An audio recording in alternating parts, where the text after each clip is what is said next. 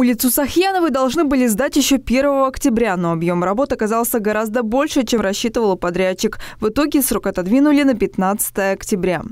Неучтенные кабеля, а, неучтенные э, теплотрассы, то есть уже забытые, не действующие с советского времени.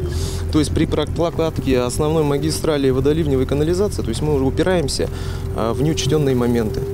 Еще один несданный участок улицы Революции 1905 года. Здесь подрядчик сослался на задержку доставки тротуарной плитки производителям. Срок э, исполнения контракта был до 1 сентября.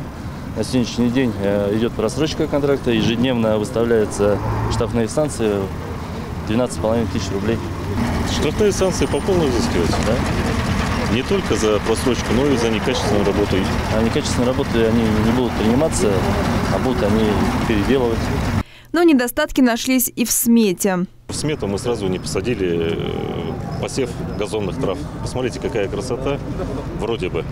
Но теперь придется, э, так как мы не предусмотрели это в смете, на следующий год своими силами осуществлять озеленение. Э, некоторые участки сделаны без подпорных стенок, но это вина проектировщиков. Будем разбираться с проектировщиками. То есть все работы этого года для нас не просто как э, получение готового объекта, но в том числе и урок для нас.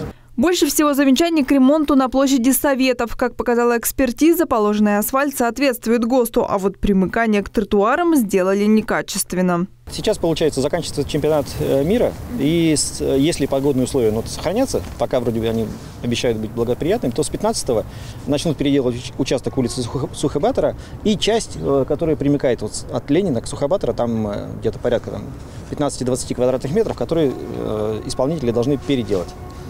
Вот, соответственно, в этот же срок будут менять решетки ливневой канализации, ну, еще кое-какие работы.